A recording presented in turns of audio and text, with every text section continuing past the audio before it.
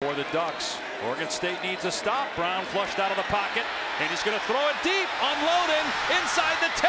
It's caught for a touchdown by Devon Williams, and what a throw by Anthony Brown, 50 yards.